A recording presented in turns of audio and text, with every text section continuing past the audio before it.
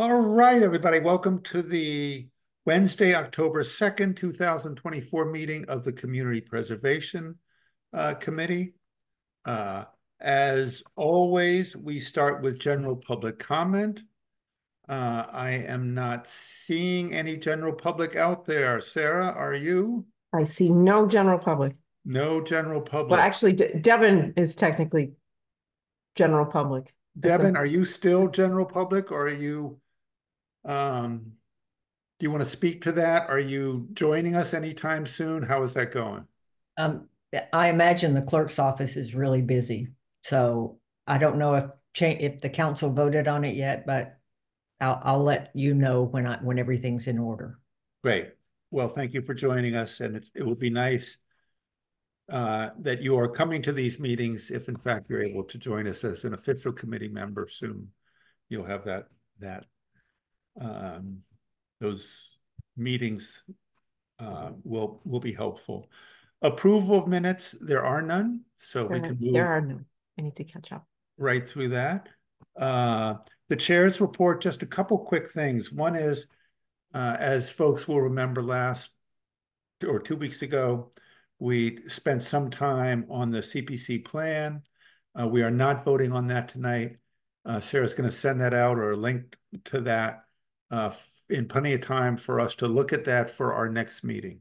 So for our October the, what is it, 16th uh, meeting with applicants, uh, we will also attempt to fit that review of the CPC plan in. Sarah, do you think we'll have enough time to do both if applicant meetings and uh, do the CPC thing? Yeah, I mean, we've had the public hearing, so if anyone has questions or want any additional revisions, we could uh, we could bounce it to the next meeting. But it, it seemed like everyone was happy with it. So we will attempt to attempt to uh, to deal with that at that time. Um, site visits, is that something that we need to be looking at now to, often we have scheduled those before our meetings with applicants, or at least during our meetings with applicants. Is that Yeah. something? Sure. So I, I sent out the applications. I, no expectation that anyone has had time to review them yet, but even just looking at the titles might help you to think about um, whether a site visit would be helpful for any of those. Yeah, I'm thinking that in in my understanding of of looking at it, it's really the JFK tennis courts and um, basketball court are certainly worth a visit to. I don't know if we quite need someone from the rec department to join us on that. It seems like something we could do on our own to look at the shape, the shape of those things. The pavilion at Grow Food, I mean, there's a space for it that we could be looking at. I don't know if we know need Grow Food to take us there either. Um, do folks have the the Shepherd House um, project? I'm not again, I don't know if we need any site visits. Do people feel strongly one way or the other on any of these? Does anyone feel the need to have staff or um, or project uh, folks accompanying us to any of these? I'm not seeing any nodding of heads, so it looks like maybe we don't need any site visits, Sarah. Uh, if folks feel differently, maybe contacting Sarah and she could try to set those up uh, for us and come up with come up with times. Uh, okay, so that is the chair's report. Moving right along, tonight's uh, guest and presenter, and really is the is the meeting is devoted to to Stuart. Um, hi, Stuart. Thank you for joining us. Uh, for those of you who don't or have not met Stuart, Stuart is the Executive Director of the Statewide Community Preservation Coalition. Um, Stuart, thank you so much for making time out of your busy schedule. I know we are we're one of 100 plus CPCs out there. So the fact that you're giving us 45 minutes of your time is much appreciated. We're turning the rest of the meeting over to you, and I think you have a PowerPoint. Yes. Uh, Sarah, are you able to Yeah, I, I have the share the screen button. Um, Brian, if it's okay with you, before we do that, um, it's been a long time since I've been out in Northampton to one of your CPC meetings, and a lot of the faces have changed. So I'm hoping maybe folks could introduce themselves and tell me what board or committee they're from, um, just so I can get to know everybody. Great, that makes sense, Stuart. Um, Kevin? Yes, hi, Stuart. I'm Kevin Lake. I'm the chair of uh, Northampton's Conservation Commission for the last, I don't know, 12, 14 years. Great. Chris Hellman? Uh, Stuart and I have met. Um, Yes, I- you're the, they're the, they're the one I recognize. Yeah. uh, and I'm one of the elected slots in Northampton. Uh, Chris Tate? Hi, Stuart. I'm the planning board representative to CPC. Great. Jeff? Hi, Stuart. I was here the last time you came to visit us too. I'm with the, uh, representing the Northampton Housing Authority. Great. Nice to see you again, Jeff. Martha? Hi, Stuart. I also was here the last time um, you came. And uh, I am the chair of the Historical Commission, and I'm also the representative from the Historical Commission. Great. Lemmy? Hi, my name is Lemmy Coffin and I'm an elected position. Okay, great. All right, Stuart, the floor is yours. Gotcha. All right. Thanks so much. And um, I do appreciate your taking time out of your meeting to listen to the presentation and talk a little bit about the coalition.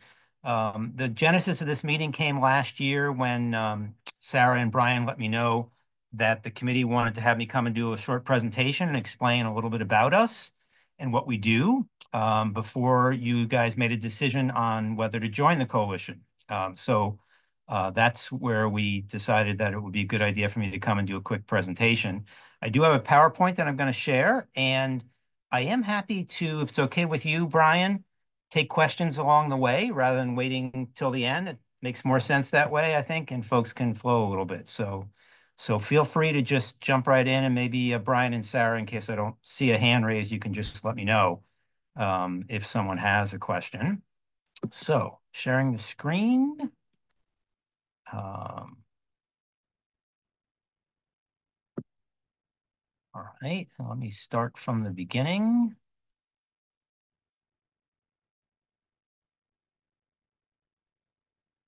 All right, so how do folks feel about that? Good view? Okay, I can see Martha and Bri- Brian's nodding and Martha's thumbs up and everyone else I can't see right now. So, all right, terrific. Um, so again, chime in along the way if you have you have questions as we work through the presentation. So as Brian said, I'm the director of the Community Preservation Coalition. I've been at the coalition for 18 years. Before that, um, I was chair of my CPC in my town. I live on the North Shore of um, Massachusetts, uh, in a town, little town called Boxford. I was chair of my CPC for five years, um, and then joined the coalition as the full-time executive director in 2006. And our organization is a nonprofit. We're based in Boston, um, but we're really just a combobulation of all the other nonprofits that you see on the screen. Um, these organizations, which are split very nicely between uh, open space and recreation, historic preservation, and housing organizations, all founded the coalition. And they founded us actually in, in uh, the early 90s. Um, and this organization, this coalition, was the ones who advocated for a decade at the state um, to get CPA passed. So it was this group, along with um, a legislator named Bob Durand, who came up with the idea for CPA, um, wrote the legislation with Bob, who filed it at the State House. Um, and it took about a, about a decade for the legislature to get comfortable with CPA and finally pass it in 2000. Um, and then uh, the there were about 40 organizations in that loose association, and these six um, uh, kicked in money and formed the coalition um, with a full-time staff. Before that, it was just all the volunteers. And um, they really felt, these organizations, that now that CPA had passed, nothing happens until the municipalities understand it and adopt it. So that was the main mission of our organization early on, was to go out and explain CPA and help folks understand it and then adopt it in their communities. Um, and we've really, I think, morphed completely as an organization. We do very little adoption work now. Uh, we answer questions, um, but we don't um, raise funds for campaigns anymore. We don't um, go out and the CPA um, is really well known now, and the local advocates are really excited about doing that work. So we really focus on the 196 cities and towns that already have CPA and making them um, extra efficient with use of their funds through education, training, and uh, advocacy. Um, the coalition has a steering committee of which uh, one member of each of these organizations is a part of, and then we have eight other members, sorry about that, eight other members that are from local CPCs, just like you. Um, so last time I came, um, uh, I brought Bob Wagner with us, who was our CPC representative from Hatfield. He was chair of the CPC there for a long time. Um, and then we have some seven at-large members as well um, that guide the coalition. And the things we do, I think, are, are very typical of a municipal trade association, for lack of a better term. So um, I forget who was the CONSCOM um, representative. I think that was, um, uh, who was that? Is that Chris? Were you the CONSCOM representative? No. Uh, Kevin, Kevin Lake. Kevin, okay. So Kevin, you have MACC, right, that you work with all the time, the Massachusetts Association of Conservation Commissions. And they provide very similar things to your Conservation Commission that we provide to CPCs. Um, and you pay a due to MA, dues to MACC to join. Um, and really, every board or committee has an association that works on these statewide issues. You know, Planning Board, um, you know, MMA is the overall organization, Mass Municipal Association. There's a Massachusetts Tax Collectors Association, an Accountants Association, a Municipal Law Association. Really, every board, committee, and staff department in, in a city or town has an organization like ours that works on their program. The difference for almost all of them is that there's a state agency that also works on that program. There is absolutely no one in the state of Massachusetts government that has CPA in their job title. They don't spend a penny on administration of the program. They leave it all to us as the nonprofit. Um, so, you know, if you're on the CONSCOM, you have EEA and you have a team of 50, 60, 70 people at EEA um, who administer all the conservation laws and grant programs and all those things in Massachusetts. Um, uh, but with CPA, there is no one. Um, and so that's why our organization, very often people will confuse us with a state agency and think we are because there is no state agency on, on CPA like there is for all the other different uh, boards and committees in town. I think the, the thing that folks know us for most is um, the first thing on the list there, there are technical assistance um, and our advocacy work. Um, particularly the advocacy work is not something that you're going to be doing yourselves, right? You're probably not going to, you know, I don't know if any of you have done this, but probably not. Drive, drive in your car and go testify at a hearing at the State House um, or go visit with legislators who are voting on important legislation. And that's the work we do. It's no accident that our office is uh, two doors down from the State House because we're there an awful lot. Um, and we've always maintained an office in Boston that's been really close to the State House. That's the number one criteria for us. Um, we work a lot on ballot measures. So in fact, we worked very closely with um, the folks in Northampton, including Paul Spector, who was a city councilor back then, to get CPA adopted. Um, and we actually donated money to Northampton from our campaign account um, to help you guys have uh, local funding to get CPA adopted. Um, and then we also work on any time uh, things happen with CPA along the way, um, changes to your bylaws or changes, uh, challenges to the program and that sort of thing. And we'll talk a little bit more about that. Um, and then we run uh, sessions like this that are workshops and training sessions. I just came back from Martha's Vineyard where we had an all island training session with six different CPCs there. We had about 60 people in the room um, and had a great workshop on CPA and a training that I presented there. Um, i am really traveling the state extensively in 2024 because with COVID, you know, we didn't get out as much as we like to. So um, we're doing a lot of visits, basically one a week, pretty much all year long. Some of them to individual CPCs. Um, a lot of them are regional presentations. We're going to Grafton in a couple weeks, and we're going to have six towns all around Grafton in the room talking about CPA. uh, and learning and doing education. We support ourselves um, like any other nonprofit. Um, we apply for grants from foundations. Um, the six nonprofit partners provide a lot of in-kind and pro bono help for us. Um, but by and large, the biggest, by far the biggest um, funding source for us is membership dues that CPA communities pay to the coalition. It is a voluntary um, donation um, to be a jo joining uh, the member of the coalition. We're very, very lucky that 99.9% of all cities and towns in the state um, join every year. Um, and that's what we're here, you know, to make you a little bit more comfortable with that tonight. And we and we hope the end result is that you will uh, join with all the others and become a member of the coalition again. Uh, the other thing that I think a lot of folks use and um, maybe don't realize that uh, the amount of effort that goes into putting this together, but our website is the only place you'll find information on CPA. Good luck finding anything about CPA on the state website. You'll find um, a, a, a spreadsheet of the payout of the trust fund on DOR's website, and that's about it. Whereas if you want to learn about conservation laws and grant programs and all the other things on conservation, EEA has hundreds of pages on their website. Um, and the same thing with um, housing issues. You know, HLC has, you know, 400 people in their staff, different websites for all their different agencies, but there's nothing for CPA, which is why incredibly popular and and um, really heavily used on traffic. We can tell uh, because it is the only source on CPA, and we spend a ton of time. We have pretty much a full time employee that just works on making sure this website has every bit of information you might need uh, on CPA. I call attention to that technical assistance tab. See the red arrow there pointing to that one? That's the section of the website that's for you. Um, that's for CPC members um, to really dig into technical assistance questions on CPA. And it opens up this large menu and there's really hundreds of articles um, on there on every single topic of CPA that you can think of um, that we've added to the website um, throughout the years, and we're constantly updating and providing new resources for communities. So if you haven't spent time on this technical assistance tab, I would encourage you to.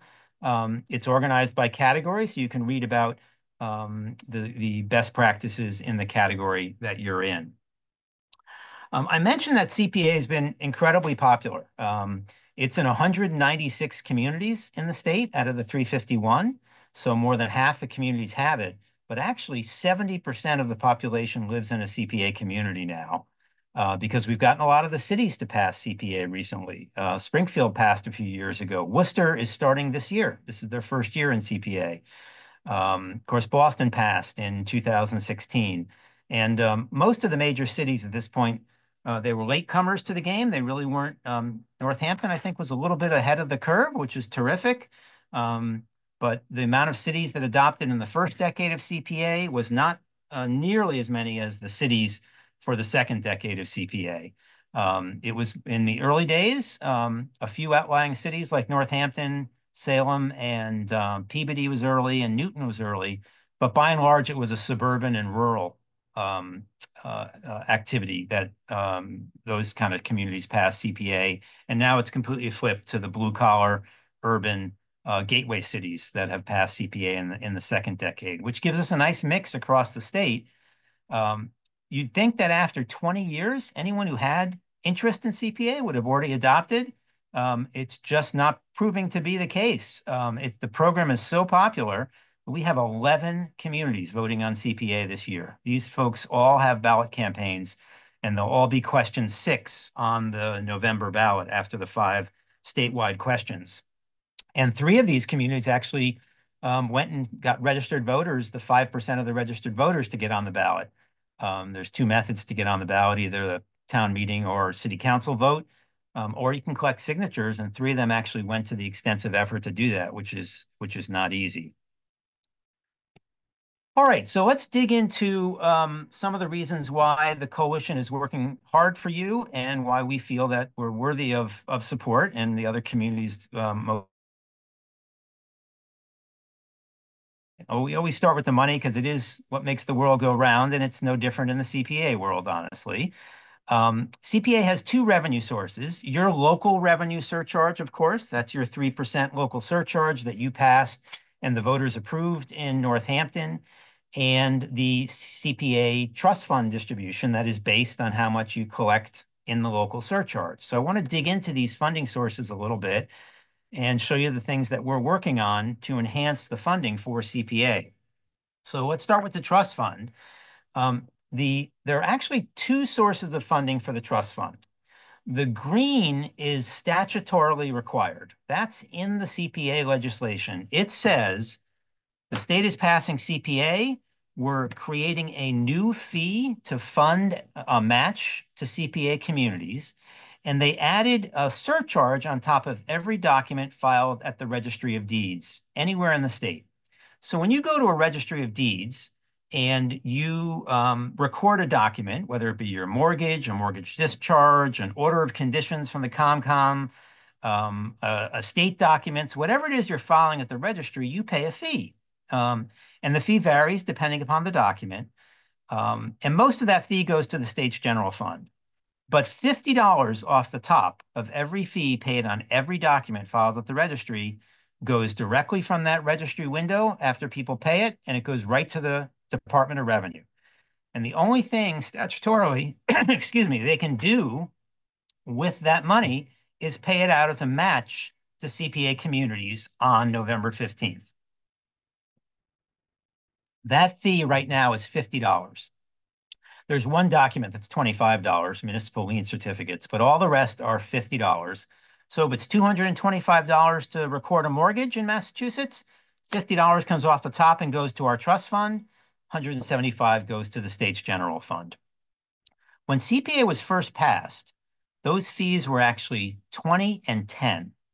So all documents were $20 and municipal lien certificates were $10. And it was that way from 2000 all the way to 2019. The state will never approve automatic cost of living adjustments on any fees whatsoever. Um, so we had already lost in the 19 years um, that the $20 fee was in place, we had already lost about $9 of just to inflation. So the trust fund was, you know, getting incredibly low. The pieces of the pie that were being paid out to communities were really low. Um, and so we started working on this in 2009. It took a decade to get the legislature to make a law that provides more money um, that's out of their control. And this money is out of their control um, is very, very difficult. Um, but we were finally successful in 2019 and got that fee raised from $20 to $50. That effort was, um, as you can imagine, um, hugely expensive and very extensive. Um, at the at the in the last year, um, as we made that final push and we saw that really we thought we could get it over the finish line, we had three different outside contract advocacy organizations um, working with us uh, in addition to our in-house staff. Um, so I, I'd probably say we spent well over half a million dollars um, on that 10-year effort, um, if not more, um, to get those fees raised on behalf of the CPA communities. Um, so that's the guaranteed part of CPA. During that time frame, when we were talking to the legislature and trying to get them to raise that fee, um, the trust fund just kept getting smaller and smaller. And so what the legislature said to us is we love CPA. Um, it's not quite right to raise the, the fee yet, but we'll start giving you some money from our state budget surplus. And believe it or not, the state has a budget surplus most years, not every year. Um, but that's in red because it's not automatic. It's not part of the statute. It's something that the coalition has to go and advocate for every single year. And there, we're getting in line with every other constituency in the whole state that is trying to get a piece of the state budget. You know, that $50 billion budget, thousands of organizations and programs and state agencies are all advocating the legislature. It's about a six month process, and we're in the mix every year to do that um, to see if we can get into the budget for um, state budget uh, surplus funding. And we've been very successful. Um, we've raised $120 million um, from that state budget surplus funding over the past uh, decade or so. All right, so let's dig into that 2019 legislation a little bit, that 10-year effort that we made to get the legislature to raise that fee and save the trust fund from falling into the single digits in terms of a match. Um, 2018 to 2019 was the last full year at the old fee structure when we were collecting uh, $20 on each document. And that brought in, in the final year of the old fee structure, $23 million to the trust fund, of which Northampton received a distribution that particular year of $217,000. So every year you get a check from the trust fund on November was collected at the registries in the previous year. Um, we did not include the state budget surplus in this analysis. We'll show you that separately. Um, so that was your final check under the old fee structure. Then the $50 fee kicked in. And in the first full year, because it kicked in mid-year, in the first full year, 20 to 21, the trust fund went from collecting $23 million to $82.5 million. So you can see the impact of that work um, over a decade that finally got passed, you can see what it did um, to the trust fund. And you can see what it did to your match. You went from a $217,000 match in the last year of the old fee structure. When we got you the new fee structure and the first payout from that, your match tripled. It went to 600, more than tripled, went to $684,000. So you can see that was quite um, an accomplishment. We were really happy about that. Um, you know, it took a lot of work and a lot of money, but it was clearly worth it um, because, you know, I told you approximately how much we spent on the advocacy effort, but it brought in, you know, um, you know, over $50 million or so um, to all the CPA communities to be used on projects. So clearly it was uh, more than worth the effort to do that. Um, and we're really pleased that the new fee structure is now in place and providing a much higher match than it would have been um, otherwise. Any questions on that at all? And uh, Sarah and Brian, I can only see a couple folks, so you're just gonna have to let me know if someone raises their hand unless they pop to the top. All right, so um, there's been three full years of the new trust fund match. And so this chart tells you what you've received each year um, on the left-hand side. Um, we saw that $684,000 match in 2021. The real estate market has been really sliding backwards as interest rates have been so high. You know there are very few homes for sale. Um, no one is refinancing at all. Who would refinance, you know, now with interest rates high? Um, so the trust fund has been falling a little bit, um, but the match has still been pretty healthy for Northampton. You're at 3%, and that helps. Um, you've uh, received 569,000 from that new fee structure and then another 433 in 2023. So it's about $1.7 million that your three matches have added to in the last three years. We did a calculation that showed what your match would have been had we not been successful and done that work to get the legislation passed at the state level. And your match would have been about $675,000. So you can see the impact that that work did in terms of providing more money to the Northampton CPA program of over a million dollars um, just in the last three years since we were successful. And of course, that's money you have now for um, projects and, and doing great things in your city. And the numbers are equally impressive for all the 196 communities all around the state who've also been the beneficiary of that work uh, to get more money to, into the program. Now, I mentioned there was a second funding source, right? Um, it took us a long time to convince the legislature. Um, nothing's easy up there. If any of you have been involved in legislation, uh, you've got to convince 200 different people. The people keep changing and the money's tight. Um, so it's hard. Um, uh, so during that time frame, we asked the legislature, say, hey, if you're not going to raise the fee right now, how else can you help these communities? Because we don't want to see the match fall really low. If the match gets really low, communities start revoking CPA. No one has ever revoked CPA. Any community that has ever passed it has found the benefit the program to be incredibly beneficial. No one has ever revoked the program. Um, so uh, we didn't want to see that happen. We pushed the legislature hard, and they said, okay, what we'll do is we'll start giving you uh, money from the budget surplus at the end of the year um, uh, if there is a, if there is a surplus. But every year we have to ask for that and get that written into the legislation. Um, and you can see on one, two, three, four, five, six, seven times, um, we've been successful in getting extra money from the surplus.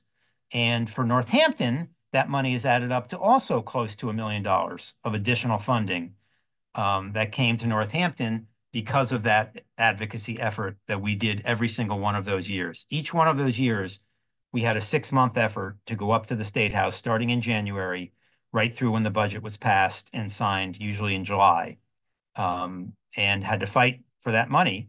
Um, a few years we were not successful. Um, a few years the state didn't have a budget surplus. So four of those years, um, you know, we did not get anything either because there was no surplus. We might have actually been in the budget. We might have been successful in getting them to give us 20 million, but then when it came down to the end, there wasn't 20 million in the surplus. So uh, we've been successful far more than than not. Um, and there just hasn't been much of a surplus available um, in some of those years. Right now, there is definitely no surplus. If you've been reading, the state's in really tough shape financially. Last year, this year, definitely next year too. So it's going to be a little while before I think we see surplus funds again um, for the trust fund. Um, and truth be told, in all honesty, the surplus funds were really just designed to be a tide over to get us to the point where the legislature would agree on raising that fee. They did that in 2019, but we still were able to advocate for another $30 million in surplus funds after that fact. Um, but you know, the, this is definitely gonna be a funny sort. It's gonna be more of a challenge in the future because they've already given us the fee increase and also the state's budget is in tough shape right now. Uh, but this has been very successful for all the CPA communities. So if you sort of add all that up, we wanted to give you an idea of, you know, your investment in our organization so we can afford to do that work. Obviously, as a nonprofit, the only way we can do that work is if the communities support us to do that and believe in us. Um, so we added up all the dues you've ever paid to the coalition, actually adds up to $58,800. Um, you've skipped a couple years along the way. Um, I think around 2018 was that last time the committee wanted to have me come out and do a presentation similar to this, um, and then join the next year. Um, and then, of course, last year uh, you didn't pay as as well as we waited for an opportunity to to pull this meeting together. Um, if you add up the surplus funding that you've received from our work in that time frame and the trust fund uh, increase money from that $50 increase, it's almost $2 million. So I think the cost benefit ratio has been pretty good for your investment in us um, that what we've been able to provide uh, back to the communities. And this same equation would be the what every single community would see in terms of, of their investment in their dues and then what has been returned back in terms of the, the results of uh, what we've done. Any questions on that? All right, um, so we're moving along. There's not too much left, but I do want to give you a little perspective on the advocacy work that we do. So um, there have been, I think, a dozen or maybe 13 now changes to CPA over the years. And this is a list, which you can also read on our website, and, and you can click through to all the details of all these different pieces of legislation. This is all the times that CPA has been amended in a positive way. Um, and the coalition has been the main advocacy group getting all these bills passed at the legislature. So in this grouping of bills, for example, um, in the beginning of CPA, you couldn't fix up your historic buildings. You could preserve them, you could prevent them from injury, harm, or destruction in the future, but you couldn't rehabilitate them or bring them up to codes or anything like that. That was changed um, as a result of our work. That was the very first, way down the bottom, see chapter 165 of the Acts of 2002. That was the first ever amendment to CPA we worked on was to expand the historic category to allow rehabilitation of existing historic resources. Um, another one in here that you'll be very familiar with is the ability to rehabilitate parks, playgrounds, and athletic fields. That was not a part of the CPA legislation for the first dozen years. Wasn't possible until we advocated um, from 2007 to 2012. Took five years to get that piece of legislation done.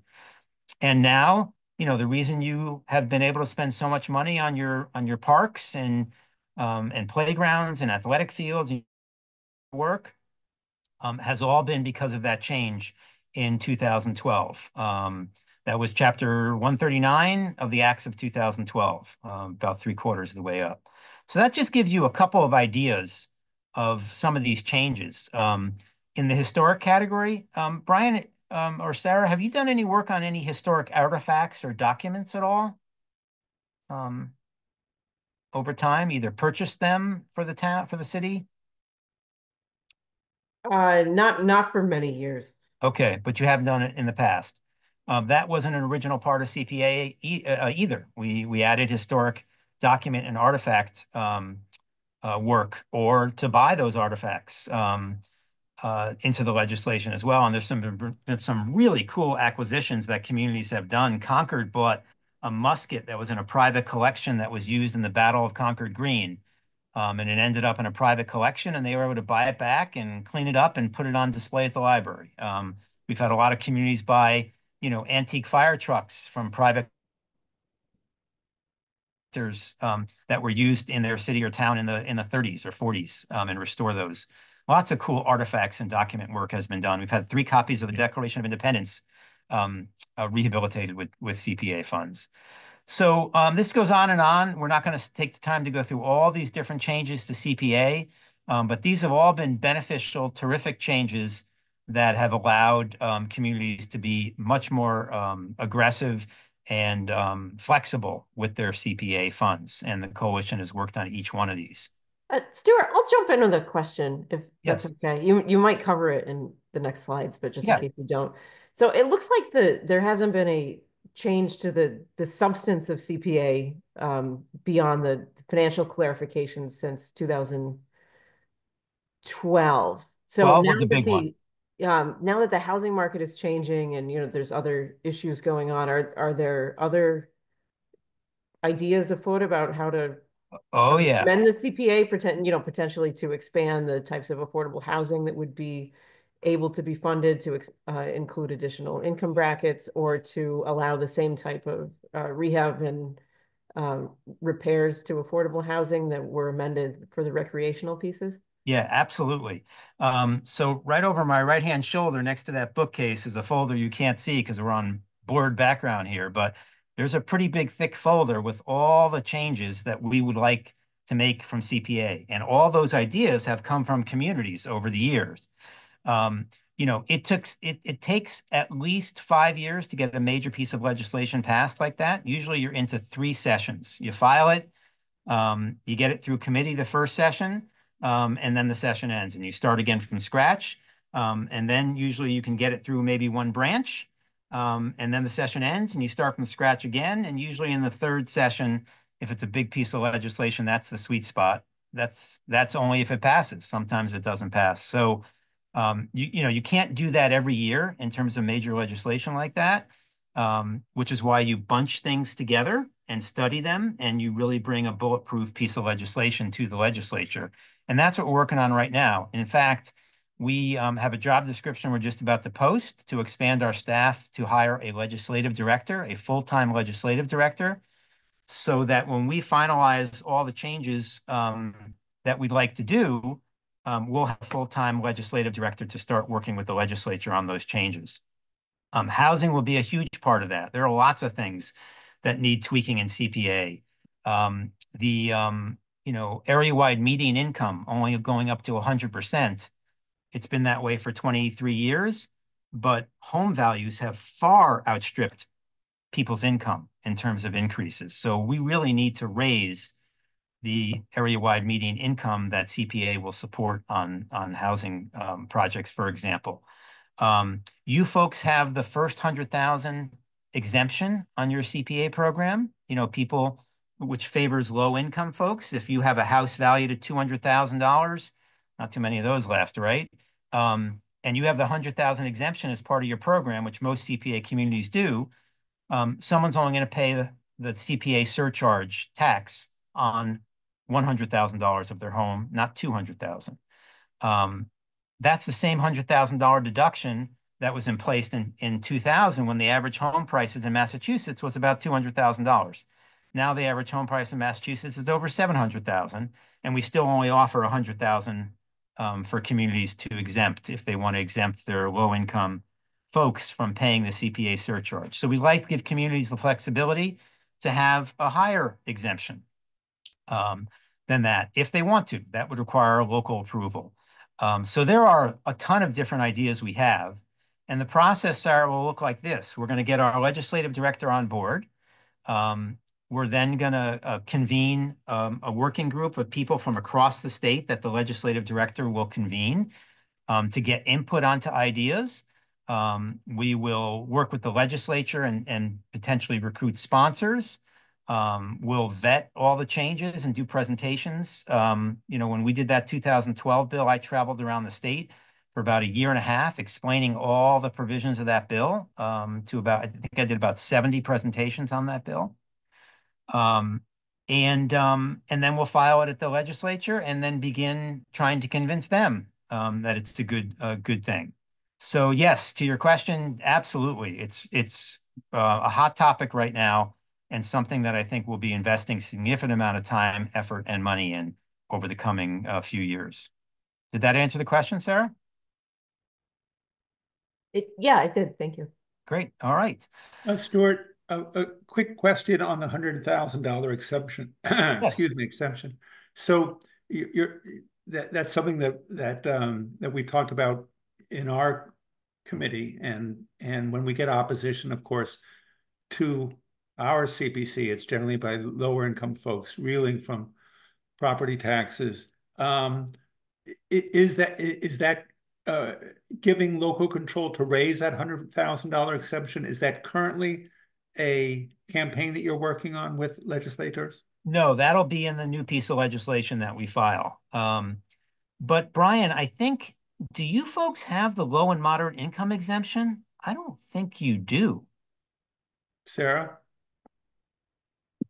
Uh, we, we do. We, we should. You have both the the moderate and the low income? I believe we do. Okay. Um, actually, I can look that up if you'll bear with me right now for a second. Please Um, do. Let's see.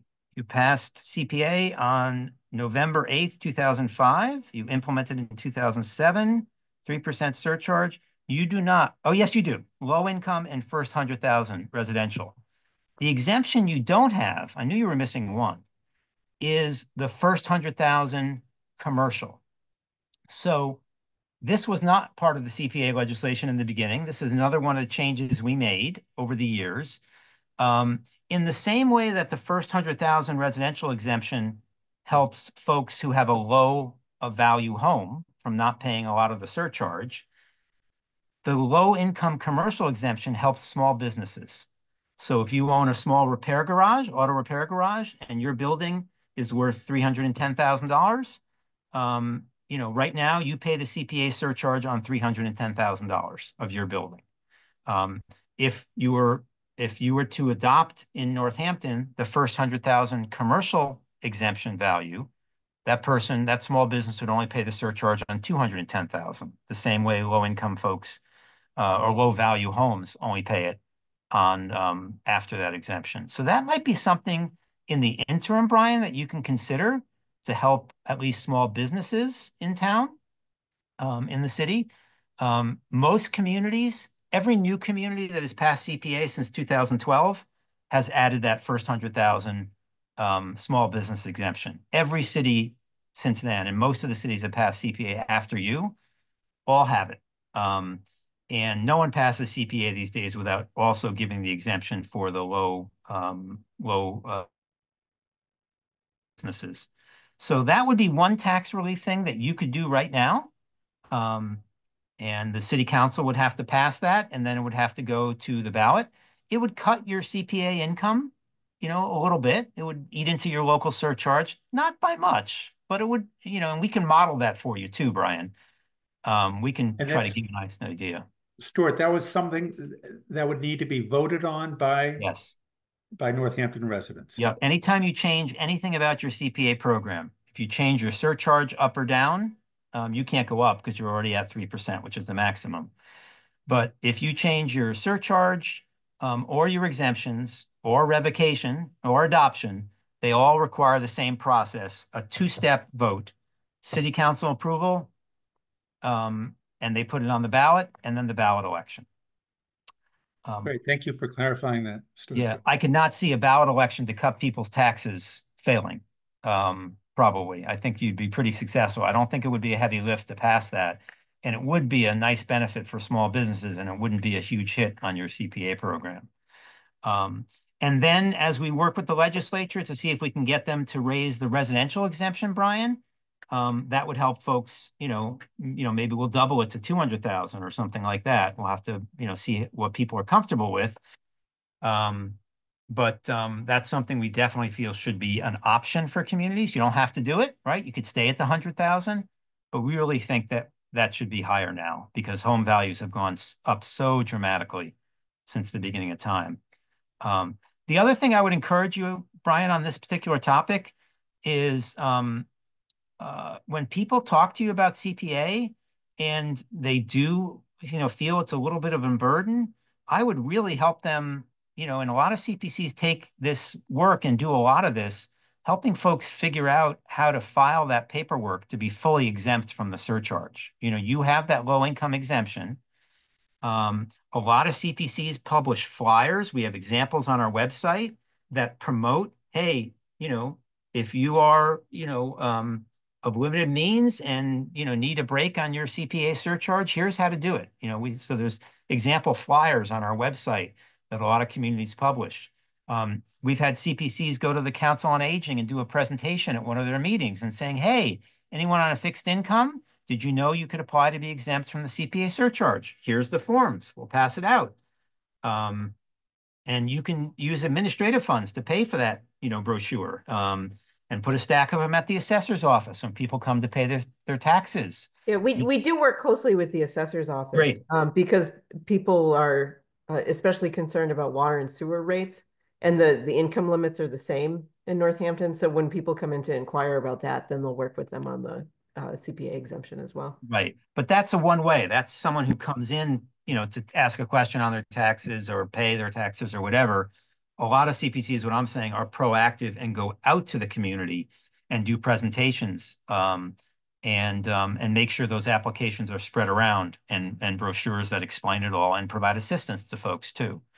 So um, we've had other communities, um, CPCs go to their council on aging and kind of train the staff there, you know, maybe alongside the assessors on how they can help senior citizens fill out those forms. Um, because sometimes it's daunting, you know, to fill out th- that exemption form. I, I, I would like to say the state made it easy, but it's a, it's a, it's a four-page form, you know, that the state requires to get that, um, low-income, um, exemption. So, um, you know, a lot of times Council on Agings have, um, we had our statewide conference at your Council on Aging building, actually. You have a beautiful Council on Aging. Um, and a lot of times CPCs are very proactive in getting brochures and training for the Council on Aging to, so they can assist their uh, fixed income seniors.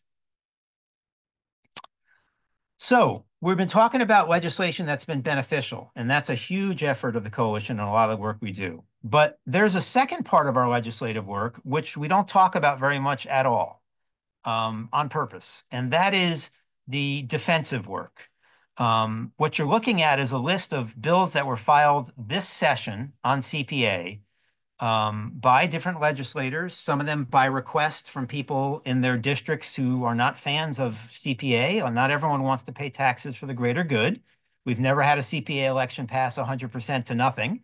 Um, we've had as high as 76%, but never 100%.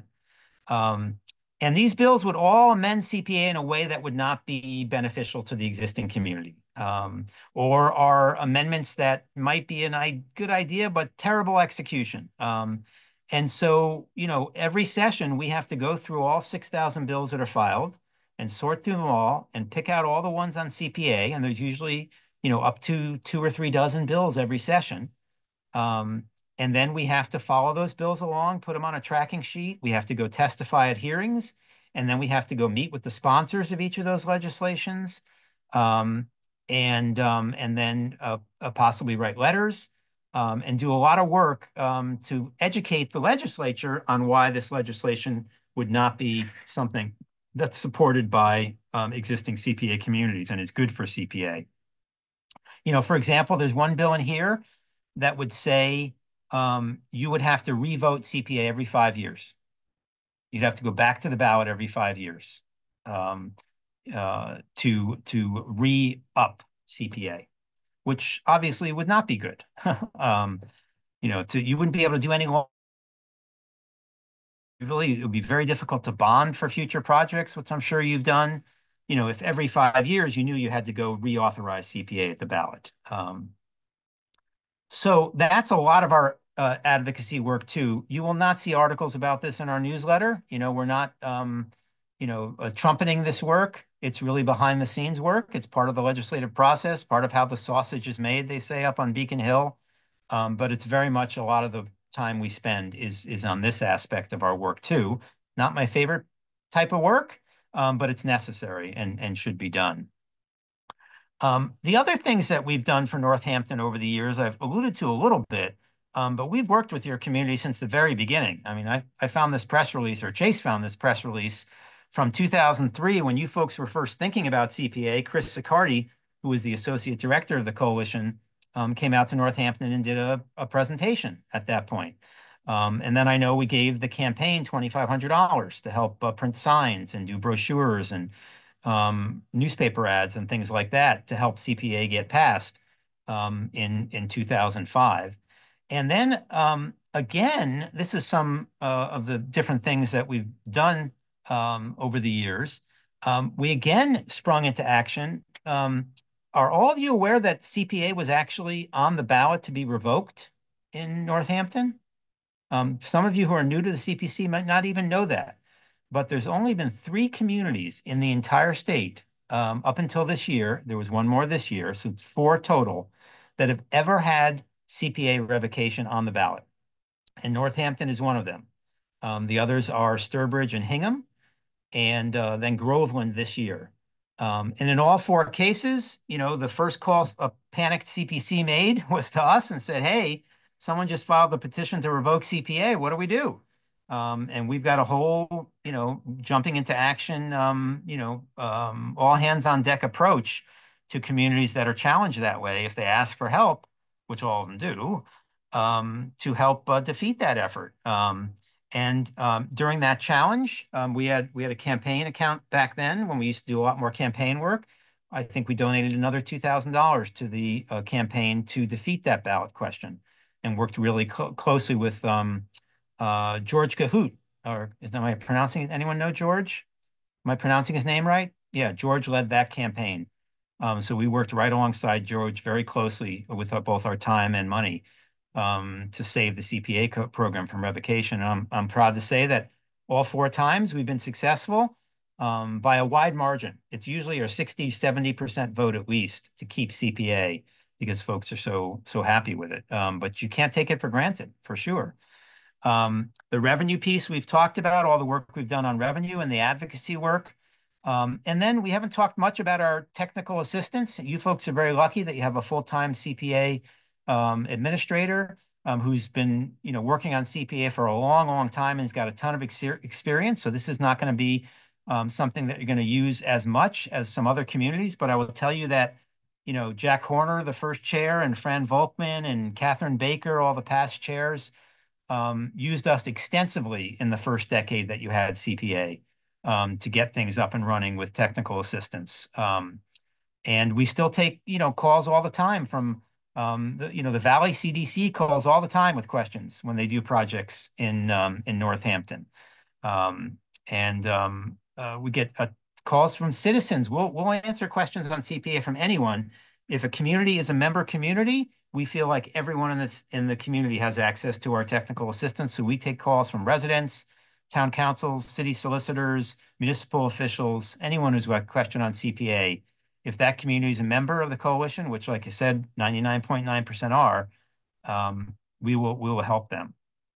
And then we talked about our website as well, which is an offering we provide that does take a good bit of effort and and money um, and time to keep active. Um, we've added some great data bank features recently um, to our website where, where we've sliced and diced the numbers on your program a million different ways. Um, we also maintain that statewide CPA database that's collected by the state. Um, so there's a lot of information on, on that website that I think will be beneficial to all of you.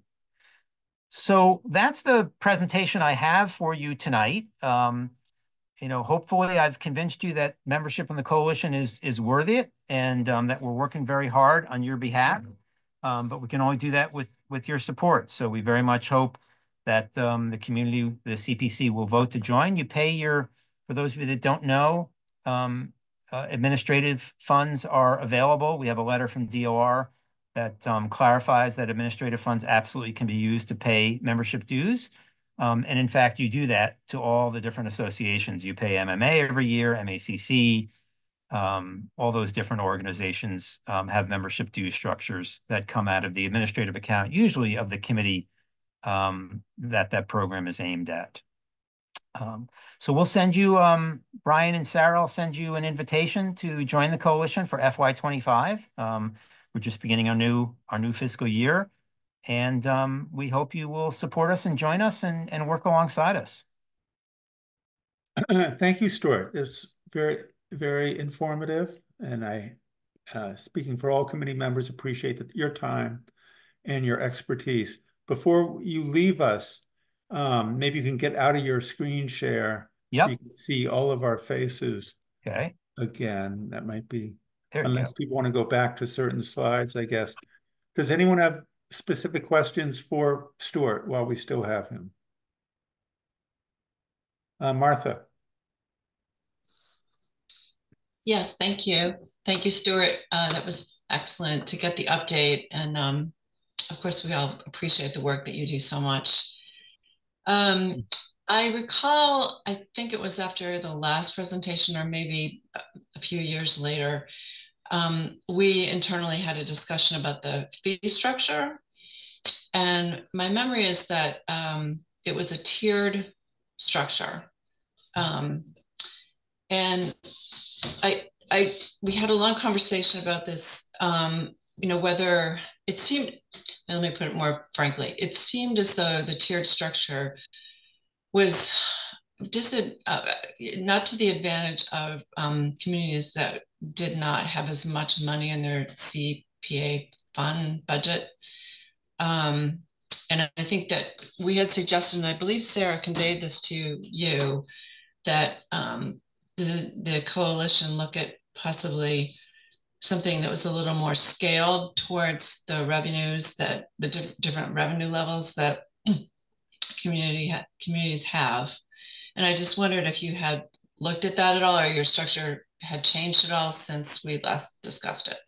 Okay. Um, our structure is actually a very much a tiered structure. Um, and it's always been that way. We've never changed those tiers. Um, in since we lost our uh, launched our membership program in 2007. But there are, I think, 10 different tiers of dues. Um, so if you, and it's based on how much money you raise from CPA, how big your program is, right? It has nothing to do with the size of your city.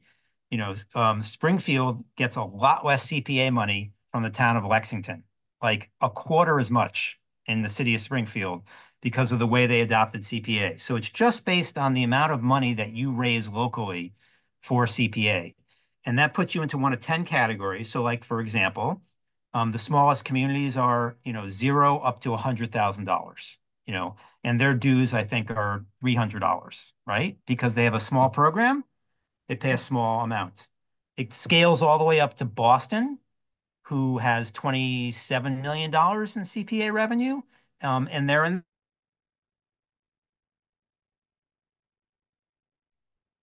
Uh, Stuart, you've frozen. Uh, we're not hearing. The local revenue is in a range that makes it the same for everyone. So Gosnold's percentage is very similar. It's in a range of, I think, 0.03 one hundredths of 1% to 7 one hundredths of 1%, something like that. Everyone pays the same percentage of what they raise in dues. Now, it's not perfect because you might be, you know, um, in a category of local revenue between two and four million or something. And if your local revenue is 2.1, well, your dues are going to be a little higher as a percentage of your revenue than they would be if your revenue was 3.9, right? So there's only so much you can do without having individual dues for every single community, which would be a tremendous administrative burden. Um, but I will tell you, we have only raised since 2007, raised our dues once. And it was like a decade ago. Um, and very honestly, what gives us the ability to do that, Martha, and not raise our dues, and we do not, I cannot see us raising our dues again in the near future, is that we still have new communities adopting CPA, right? And those communities always join we we are you know we will we were nine for nine in the last group of communities that joined everyone joins um, they really all understand the value that we bring to setting up their cpa program especially in the beginning. Um, and so that has allowed us not to raise the dues on the existing community except that one time when there was a little bit of lull. Um, now at some point in the future we're going to run out of communities right? Um, you know we'll, we'll we have 250 communities, we might have to raise our staff to four or five people instead of three. Um, but we keep trying to raise the level of services that we offer and the number of people working on your behalf um, and the outside contract work we help. But it very much is tiered and every community pays within a range, a very tight range of that. There is a chart on our website, Martha, that shows you each of the categories and the dues. We send that in our annual report when we send the dues um, renewal notice. So you guys got that last year around this time when we when we sent that. Yeah, I think you've answered my question. I my memory is that the the tiers were much um, there were fewer of them, but I also may not be remembering this accurately. And Brian and I, I remember I remember that conversation because you had that conversation locally, and your decision was to pay fifteen hundred dollars instead of the 3,500 that the tier was or whatever it was. I forget what it was, but I, I remember the $1,500 figure. I don't remember exactly what your, what tier you were in then. And you just sent us a check for $1,500. And when we called and said, you know, um, we just got a check, but it's not for the invoice amount, for the dues amount. Um, we finally got an answer that the committee felt, you know, that's what it was worth. Um, and so we had a long discussion about that as well at our steering committee. Um, we had 21 people and we talked about Northampton, you know, extensively. Um, and the decision was made by our steering committee to return that check to you, which we did. Um, because no community, you know, we want every community to be paying the same. You know, everyone should be is getting an equal benefit from all that work we do, particularly at the legislature and more money. And so we felt it was really unfair to you know start negotiating and cut deals for communities. Um, and also we have a budget. You know, we base we're a nonprofit, so we're not making a profit. You know, we mm-hmm. base what services we can offer on our budget. Um, and so so that's one of the years I think you didn't were on that list, 2018, that you didn't join um, because um, you know the the dues weren't what you sent was not your actual dues. Um, and then I think that might have led to me coming out folks asked me to come out and then you immediate, the committee immediately afterwards said, no, we get it. We just didn't really understand exactly what we were doing. We had a lot of new folks at the time. And, um, and then you joined again. Okay. Up and, right. up and Thank you. Thank you for answering my question. Yeah. Uh, Chris Hellman. Hi, Chris. Hello. Um, thanks for the presentation, Stuart. And um, I actually had uh, I, I, I took I took some time earlier this year when you offered um, boot camp for for new CPA members. Um, I hadn't done it before, and I thought it'd be um, useful. It was some good information, and um, it got me thinking about as part of your um, Beacon Hill advocacy.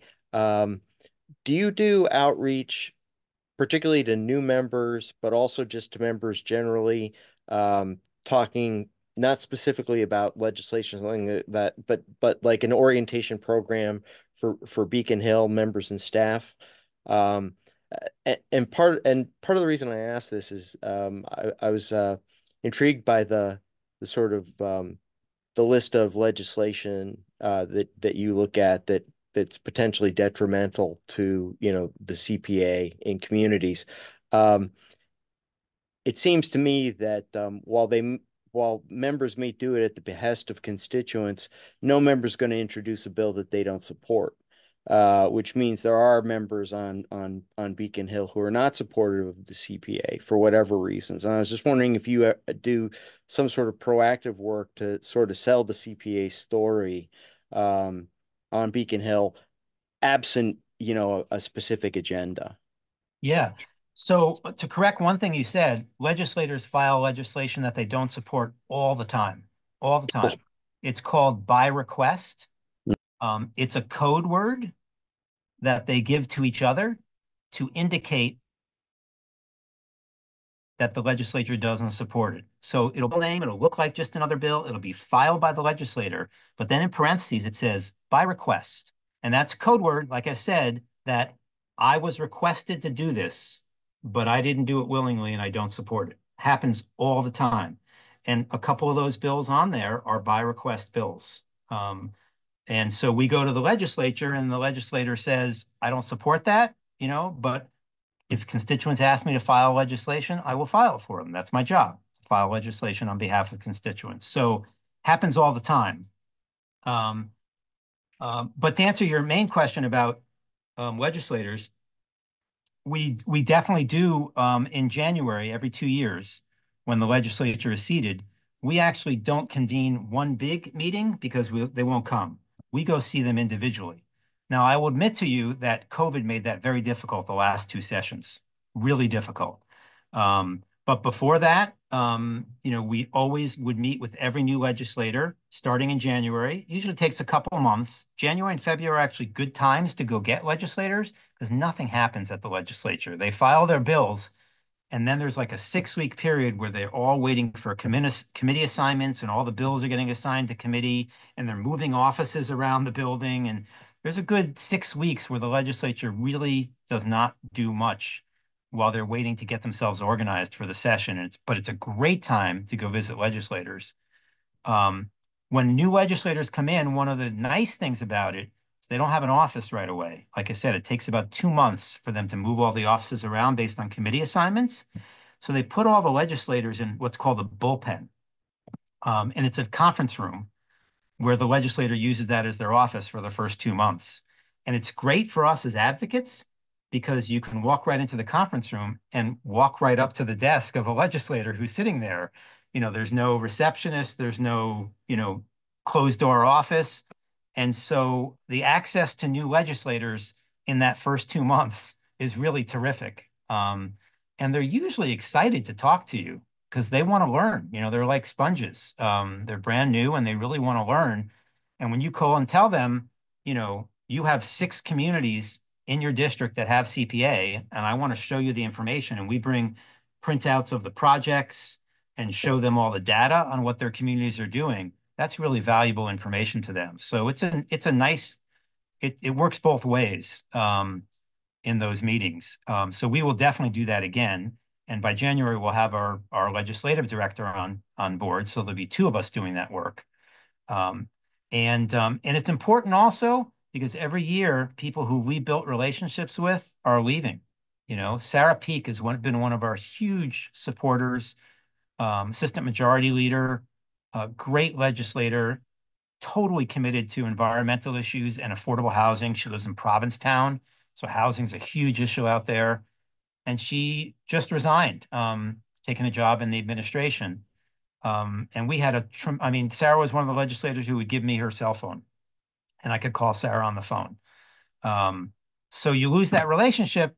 You have to meet the new person and start from scratch um, because eventually that new person will end up being majority leader, you know, or assistant majority leader. So the new people are a big focus for us. It's really important. Um, and you had, you know, some new folks a few years ago, you know, um, Representative Sabadosa um, and Senator Comerford out your way.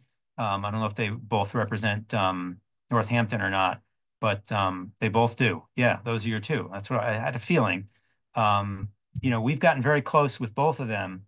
Senator Comerford, um, in fact, um, filed an amendment to the Senate budget this year for us. I actually didn't talk about this. Um, we did attempt to get um, funding again this year in the state budget, and we were successful in the state Senate. We got $50 million. You probably read about this in our newsletters we got $50 million um, in the Senate budget for CPA. They wanted it targeted specifically toward housing programs.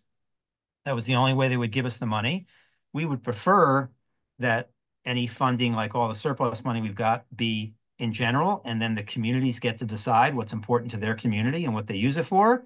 But the legislature wouldn't didn't want to do it that way this time. They really wanted to target housing, and that is that is a tremendous problem in the Commonwealth. Um, and it was um, um, Senator Comerford who who filed an amendment to that to help us get that. Um, so we worked really closely. She's probably our biggest champion in the Senate right now, Senator Comerford. Um, and um, unfortunately, it did not survive conference. Um, you know, the bill that they were working on, it was the housing bond. It wasn't the budget. I'm so sorry. It was the housing bond bill, the Affordable Homes Act. Um, and that bill came out a lot, came out of conference a lot skinnier than it went into conference. Um, so a lot of the things that just the Senate did or just the House did, they didn't survive conference. So unfortunately, we didn't get that get that funding. But again, Senator Comerford was really intricately involved with um, that effort. Uh, Lemmy. I just want to say, uh, sorry, thank, um, I'm coughing here. Thank you, Stuart. Appreciate it. Yeah, great. Hi, Lemmy.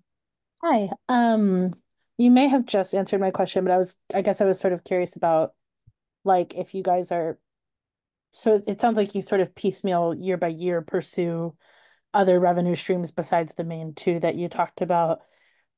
Like I guess in terms of long-term vision for CPA funding, like do you see yourself like are there other sort of constant revenue streams you're hoping for or are you just sort of working out like whenever there's a bill that comes out you try to kind of tack some CPA funding onto the No, we we actually don't do it that way. Um, Okay. I'm kind of we- we- confused. Like I was, I thought I understood, and then just now your comment about that one bill confused me. So Yeah, well, no, that that was the first time we had ever gotten any revenue source other than just those two, the surplus funds and the, the statutory revenue source.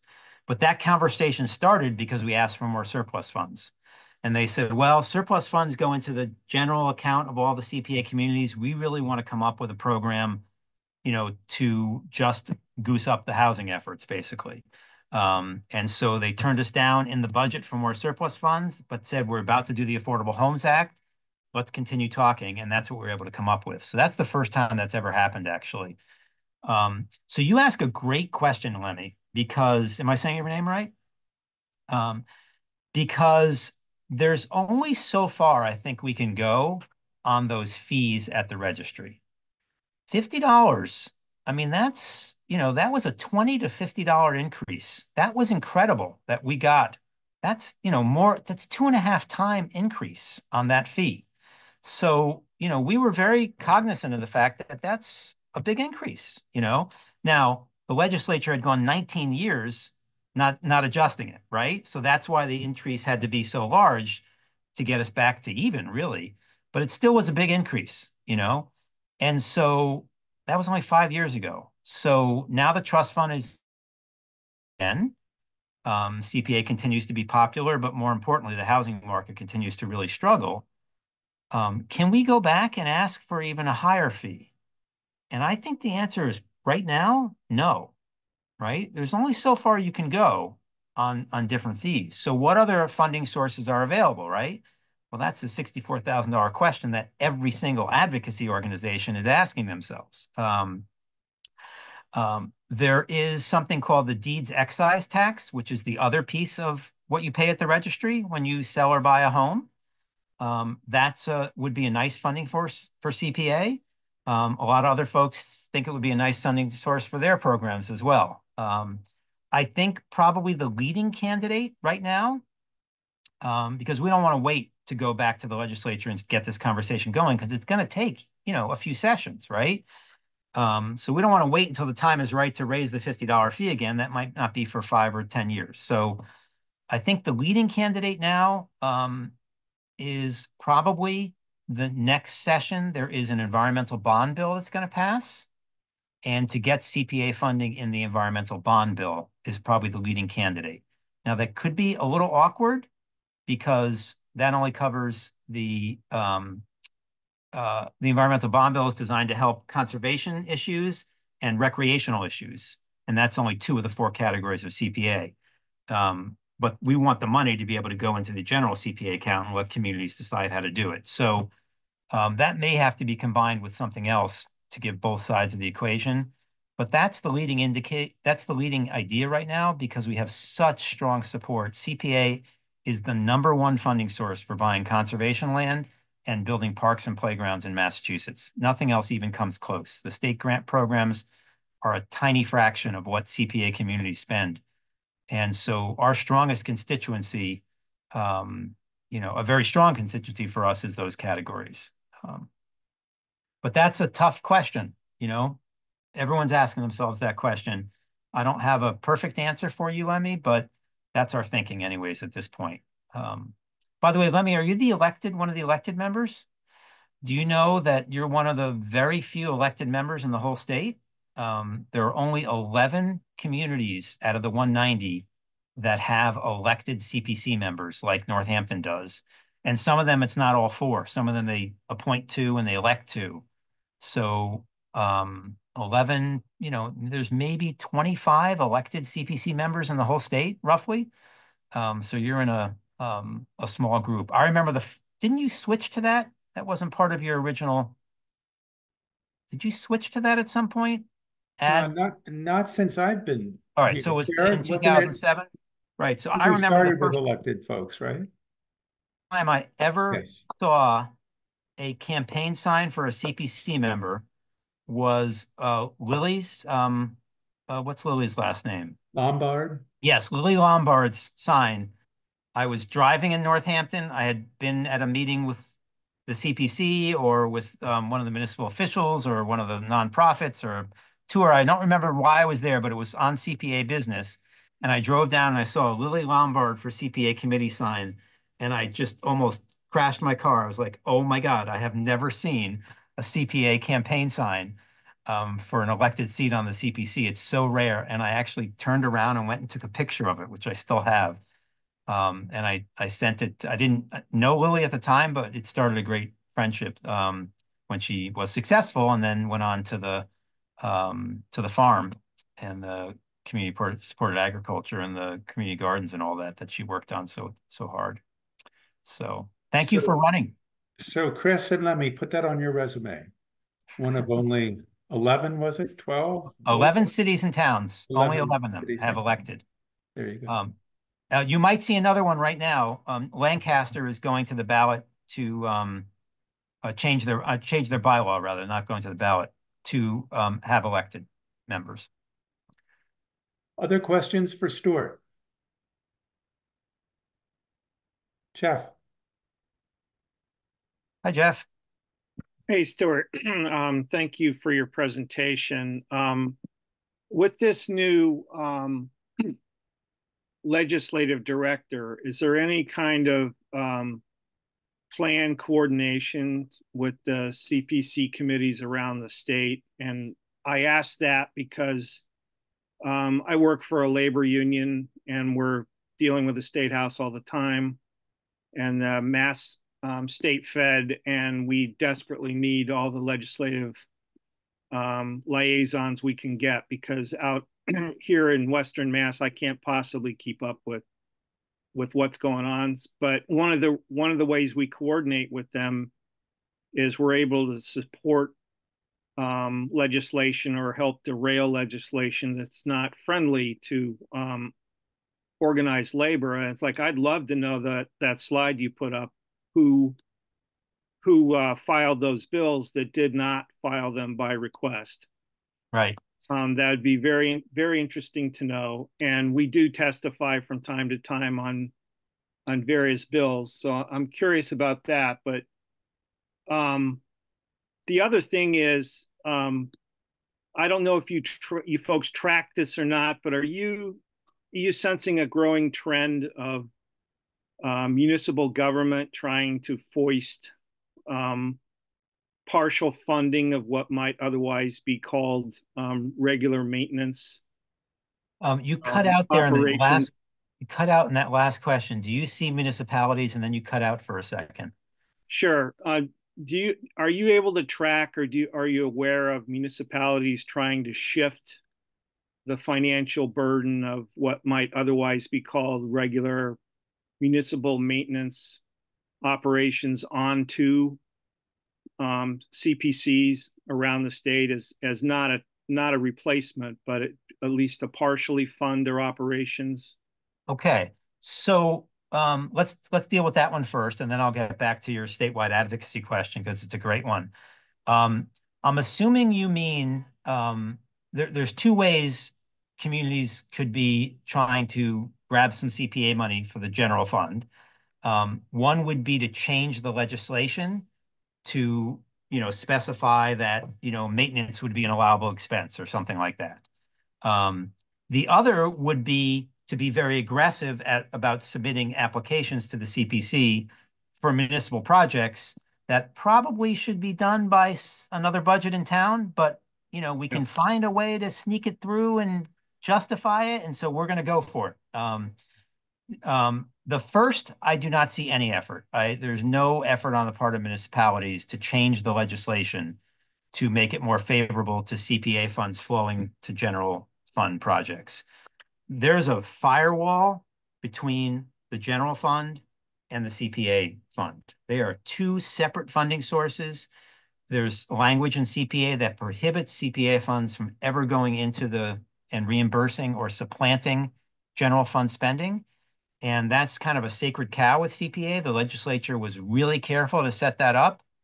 They would never agree to do that. And I don't see the municipalities even asking for that. Um, what I do see, Jeff, and I'm seeing it more and more and more as times are getting tougher for cities and towns, is coming to CPA and asking for funding for things that might be not the best of CPA projects, right? There's core CPA projects. There's no question. If there's a piece of conservation land that you'd love to buy or a playground that needs to be re- prohibited, uh, rehabilitated, or a CDC that wants to build 60 units of affordable housing and needs some help, those are solid. That's what CPA is for, right? But then there's projects that, you know, are on the periphery or maybe on the gray area or maybe just over the edge of the line on the gray area, right? And this is all subject to interpretation. Um, and the municipal lawyers all work for the administration, not for you. Um, so um, I'm seeing tremendous pressures from municipalities to be much more aggressive about applying for CPA funds um, for things that they would not have applied for in the past that wouldn't be really bullseye CPA projects. Um, uh, a tremendous increase in that. Um, and honestly, um, my wife jokes with me all the time that she hears me sometimes doing these technical assistance calls because, you know, now we, most of us work from home a lot more. Um, and she, one time she got off the phone, she said, you really need to be a, like a, a therapist as well as a CPA expert because I get those calls from CPCs like, how are we going to, you know, we have a town manager and look what he's planning to do. You know, I have a call tomorrow with a Cape community with the chair and vice chair, and it's all about the pressure coming from their town manager to take control of the CPA program. Um, and we're going to advise them on what we know and, and, you know, um, give them the ammunition they need. So I'm very concerned about that. Um, I'm seeing it more and more, and it's because times are really tough for municipalities. I don't blame them. You know, there's no municipalities that have a lot of extra money hanging around right now. It's tough out there. And and it's even tougher to keep employees. I'm seeing tremendous turnover in staff at cities and towns. I don't know, Sarah, if you've had a lot of turnover in Northampton, you probably are a lot more stable than other communities, but smaller communities in particular, I'm seeing tremendous turnover in staff. Um, so it's a tough time to be a municipality, um, and I can't blame them. Um, but formally banding together, we have such a great relationship with the Mass Municipal Association. You know, if they were going to try to change the legislation to do something like that, MMA would be their mouthpiece.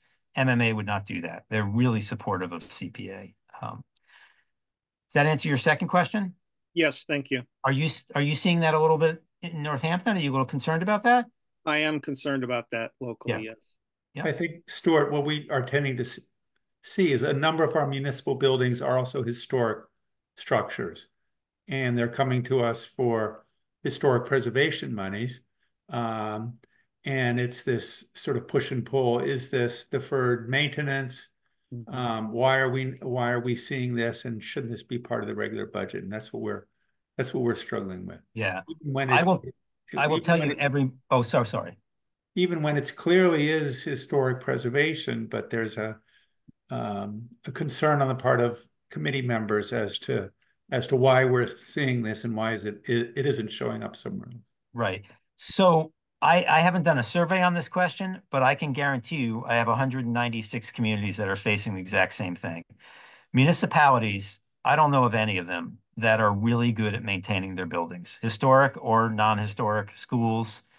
Municipalities are terrible at maintaining their assets. They just don't have the funding or the staff to do it. Um, and so, you know, that's a natural thing, you know, um, to skimp on that. And of course, you know, you defer maintenance long enough, and then all of a sudden it becomes a big capital project, and someone, the light bulb goes off, and someone says, "Oh, well, CPA could do that," you know. Um, so um, it is true that CPA can't pay for maintenance, but if you defer maintenance long enough, it becomes a, a major capital project, and mm-hmm. CPA can pay for that, and that is true. Is there someone out there in a municipality who's saying, let's not do maintenance on this building for five years and then we can apply for CPA money and let it fall apart? I don't think that's happening. I think likely what's happening is they're stressed and it gets to be crazy time before the budget is finalized and cuts have to be made because things aren't coming out. And maintenance often gets deferred in those cases. But I don't think it's deliberate on the part of municipalities to do that. Um, but we're seeing the same thing everywhere. As a matter of fact, it's always been that way. I don't think it's that is any worse now. Um, you know, the the historic building maintenance issue. Um, you know, I just encourage CPCs to be very clear about what is clearly maintenance, right? And and not to give any wiggle room on that. Um, deferred maintenance becoming a capital thing, um, that's really a local decision you know, as to how you how you feel about that. And I say it really is a case by case basis. You know, how important is this building? How significant it is? How much use does it get? What are the other competing applications that cycle that you know you'd have to take money from because you can't fund everything? Um, you know, is the they going coming to the well for everything from CPA? You know, there's a lot of factors, and I think they really have to be handled on a case by case basis. Oh, you're you're muted, Brian. Any other questions for Stuart? I never answered Jeff's first question. Do you want me to Yeah. go back and? Sure, that should be real quick. I would. Yeah. Um, so, um, Jeff, how long you been on the CPC? Uh, long enough to not re- not know the answer to that. Okay. Um, that's good. So I'm hoping you're get you're getting our newsletter. I mean, we did Yes. figure out that a lot of you were not getting the newsletter last year. Um, and Right. so Sarah and Brian helped us fix that. So we now uh, everyone should be getting it. Um, although I would say, we'll say that just like everyone else, we use constant contact, you know, an email provider, and sometimes your um, email service will send that to spam sometimes, and we can't just we can't control that. But um, when we're active on a piece of legislation, you will absolutely see action alerts from us all the time because we can't pass a piece of legislation ourselves, you know? Um, you know, we had three different advocacy groups working for us when we were making that final push in 2019, you know, and then, you know, our steering committee and um and our staff, you know, that's maybe 15 people and there's 200 legislators, right? It's not going to happen unless we have a statewide effort. And and that involves all the non-governmental organizations that we organize and then all the communities. Um, we can't get anything done without a massive statewide effort to do that. Um, and urging people to talk to their local legislators. You know, we'll we can meet as many legislators as we can. It's not possible to meet with 200 legislators in a short amount of time when a piece of legislation is hot. So that's a huge part of what we do. It does ebb and flow depending upon what we have at the State House, right? Um, so uh, the last big, huge effort was that 2019 effort. And if you go back to your email, if you've saved our coalition newsletters from 2018 and 2019, you know, um, you're gonna see a lot of emails that we came through where we updated folks. Here's what just happened. You need now to call your state senator to get them to do this. Here's what just happened. You need now to call the conference committee. Here's what just happened. You need now to call the House. Here's what just happened. You need to write the governor. um, you know, because the more you go into the process, the more steps you have, hurdles you have to cross. And each one of those is one of those big efforts. And sometimes we feel a little guilty that, you know, we're yet going to the well a fourth time asking everyone in the CPA world to go advocate on something. But when you're in that final stages of legislation, that's the only way you're going to get it done. Thank you. I think, I think I did get an alert on the Comerford Amendment you Yeah. mentioned earlier. Yep, we did send out. We And I did. did, I did follow up on it. Yeah, great. Thank you so much. Any other questions for Stuart? Well, thank you so much for taking your forty-five minutes of your time. Oh, wait, a little bit longer than that. Um, So, uh, we appreciate your expertise and you're going to bat for us and you will send us that uh, request for Invitation. Yep. dues, and I think we will wait to, as we sleep on this, to um, to vote that in or out in the next meeting in two Great. weeks. That probably is going to come from Chase, Brian, and I'll send it to you, Sarah, and um, if you have a vice chair, usually we send it to chair, vice chair, and, and Uh, administrator. Chris Hellman is the vice chair. Okay, great. Great. All right. Thank Well, you hey, so much. Have a good rest of the meeting. Thank you very much for, for having me tonight. And if we can ever help you with uh, technical assistance, uh, let us know. Thank you so much. All right. Thanks. Scott. Thanks. Bye-bye. Um, all right, well, that was interesting. And I think, Sarah, we put on the agenda for the next meeting, unless we feel that, that we could vote on that now. Maybe it makes sense to, to, to, for us to think about it and put it on at the start of next meeting's agenda. Sure, I mean, we don't have anything to vote on at this point. We haven't been provided a We haven't been an provided, okay, so. good. So that's, that's good. Um, Can I quick one- ask, do we have an administrative fund for the CPC? We that do, so, uh, we put seventy-five thousand dollars into the administrative fund each year. That is far, far less than the five percent maximum that we're able to put into that, but we want to keep as much as possible available for projects. Um, we don't spend anywhere close to the seventy-five thousand. It's mostly just to, in, in case something unforeseen happened. Um, so yes, we would be able to pull it from that, which, which we've done in the past. This is the first time that we didn't pay it. And it, it wasn't that the committee decided not to pay it. It was just like, hey, we'd like some more information before we take action on this. And this was the first time that we were able to set up a meeting. uh, Lemmy? I just have a quick question. Is any of that administrative fund go towards funding you, Sarah? Like it's just a curiosity. Sorry. It, but- it does, yes. So it's, um, it goes towards staff costs, um, thing like printer cartridges and, you know, administrative stuff like that, uh, newspaper ads, the, the, well, thank you Northampton, um, CPA funds at work signs, um, and various smaller items. Good to hear. Glad we're paying for you ourselves. So we'll put that on our agenda for October the sixteenth. Uh, any other comments? Thoughts that people want to share at this point, Jeff? just real quick, um, my my memory the first time, uh, 2018 was I, I think we were getting this annual request for dues, and at the time, eh, the committee in general was like, "What do they do? Who are these people? We never hear from them." That's where all this generated from. We would just get a um, an annual dues um, invoice. So I think that's where all this started and and um, then we have regular contact now. Um, I, my memory is we did not have that before, but um, correct me if I'm wrong.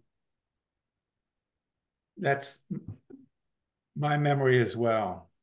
Yeah, we, uh, in, so in twenty, spring twenty eighteen, the, the committee decided to pay a thousand dollars rather than the forty-three fifty that it was invoiced. Um, and I, I didn't want to, I didn't want to say it during the meeting in case I was incorrect, but I, I don't believe they returned the, the money. The, we just weren't considered a, a member of the CPA coalition. Good to know. Any other comments? I just want to thank Jeff for um asking the question regarding municipal buildings. I didn't think to ask it and I um um Scott may have just earned his may have just earned his dues with the information he provided on that one. So I I really appreciate the the question, Jeff. Thank you. Thank you. Yeah, Jeff, good to remember that. Stuart, not Scott. Right, my bad. Uh, any other comments? Uh, okay, quick financial overview, Sarah? I don't know if anybody had a chance to look at um the financial spreadsheet that I put together. I'll share it just in case. Share, no, that's the wrong. button. Um.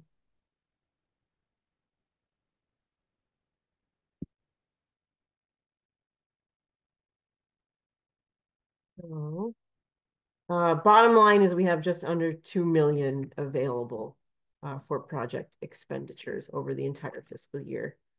Um, so location of available funds, we have one point two million plus in the budgeted reserve, so that can be spent on anything. Um, open space reserve is a little higher than the other two reserve accounts because of project funds that were returned um, during the last fiscal year from a project that didn't need them all. And though, since those have to go back to the account that they were originally taken from. Um, so, and yeah, and here's the, the seventy-five thousand and administrative funds. Um, so the carryover from last fiscal year was just over a hundred thousand dollars. This was a little bit lower last year because I was a little risky. It, it made DOR a little grumpy that I was, that we, uh, estimated our, our state match a little higher than, um, the original numbers, but we actually ended up being pretty much right in the nose with that. So we didn't have quite as much in that, in, here's some extra money that you got from DOR bucket, but you can't spend it until next year. So that's why that number is a little bit lower. I'm hopeful that given, you know, given all of the things that Stuart has just told us about um, registry of deeds receipts and uh, advocacy for additional budget funds that we, we might see a little bit more than the three hundred six thousand dollars that we were initially anticipating from the state, but if not, um, it'll be just under two million. And the breakdown of what was, oh no, my computer's not happy. Uh, the breakdown of what was submitted for this funding round is just over one point three million.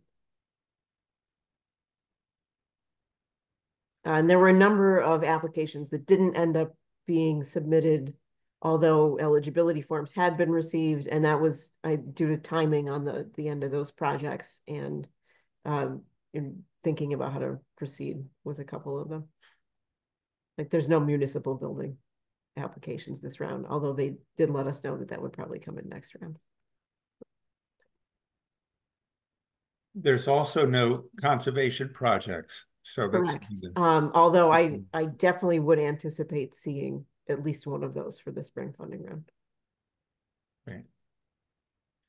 Um, just sorry to interrupt. Um, when we begin to talk, if if Sarah, if you could um just ballpark the outstanding ones that you think are in the pipeline, um, that would be useful. Uh, because just back of the envelope, um, if we were to fund everything, we'd end up with about five hundred and seventy thousand unspent um in the in the first part of this year. So it'd be good to know um what we might be on the hook for um during the latter part of the year. Okay, yeah, I can work on that. Um, some of them were really complications with the timelines for other grant funding sources. Like I know Valley CDC was um initially planning to apply for additional funds for the Crafts Avenue Affordable Housing Project. But they know that they won't be applying for federal funds until um next fall. So it's just a matter of when that actual application is due and what they need to have in hand at that point. So some of them might be unknown, but I can try and get you some better numbers. Yeah, any anything would be great. Sorry. Yep, thank you.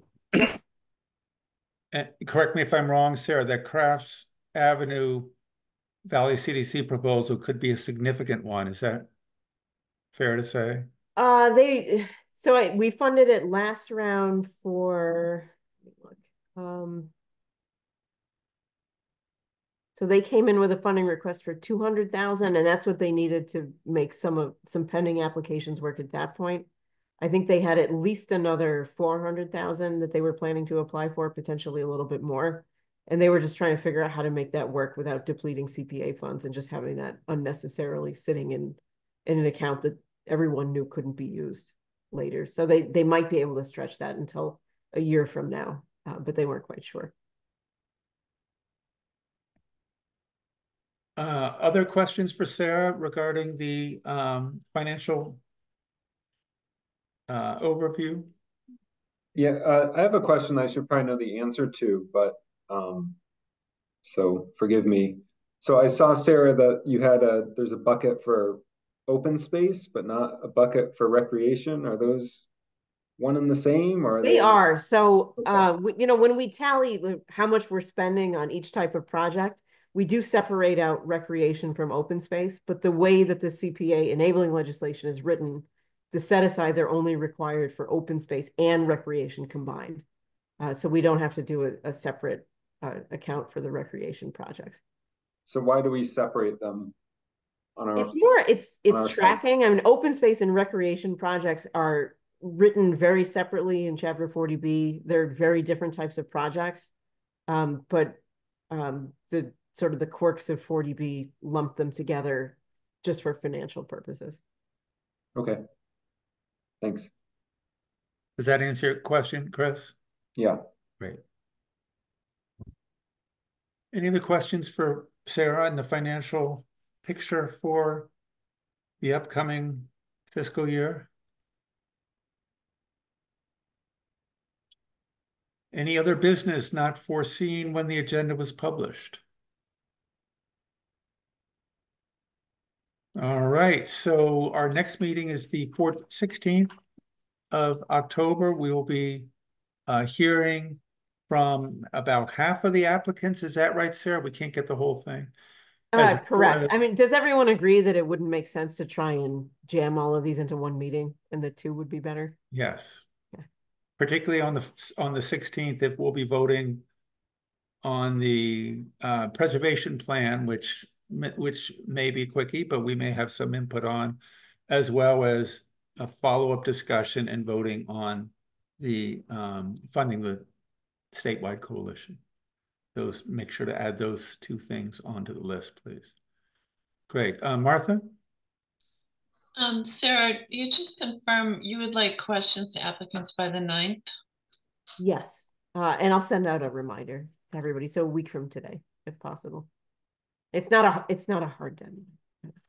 Everybody needs deadlines to, to get things done. Thank you for reminding us, Martha. So questions to Sarah that can go to the applicants before they meet with us is helpful for all of us, I think. Lemmy? Sorry, I know it's late. Um, do applicants have like equal time? Because I, I just remember last time there was like some applicants that went into great detail and some, and it, you know, it just favors like professionalism, like people who have paid professionals working on the project versus not. So I'm just curious about it. We don't have to address it for this round, but I keep forgetting to ask you about it. So Yeah, I'd, so I guess it's up to the discretion of the, the committee. I mean, in the, in the past, especially when we had a, a lot of applications that were competing at that point for a really limited bucket of funds, we set like twenty-five minutes and then, you know, when the twenty-five minutes is done, we're gonna move on to the next application. But since then, it's seemed like, you know, some of the applications need a little bit more discussion and back and forth with the applicant.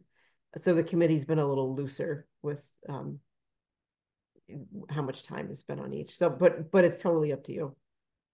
we, I don't feel like changing it now. I just curious about the history of it because, yeah, at some point I could see it being an issue, but it doesn't feel like one now.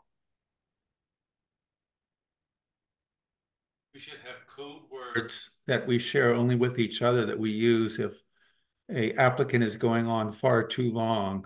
People can say the code word. We can say, okay, thank you very I- much. I do always tell applicants brief presentation.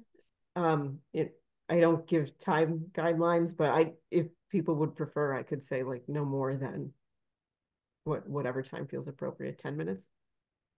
I think Oh, ten okay. is, is too, is too little. Um, I think that, I, I, think in the past, we've kept it open and it's worked really well with, a with a couple of exceptions. Uh, and, uh, and those tended to go on and on and on, and we can um, try to move, move those along if people are feeling restless or that we have enough information from them. Um, but if we have four, we have eight total applicants, if we do, uh, twenty minutes on each, that's 20, 40, 60, 80 minutes. So that's an hour and twenty, and with our other business that theoretically gets us with a little going over, gets us out of here in two hours, which I think most of us are appreciative of. That works for you, Lemmy? Great. Any other questions? Any other business not foreseen? Okay, so again, Martha, thank you for reminding us. Questions to Sarah by the ninth, which is a week from today, that she can get to applicants. Um, and otherwise, we will see you on the sixteenth.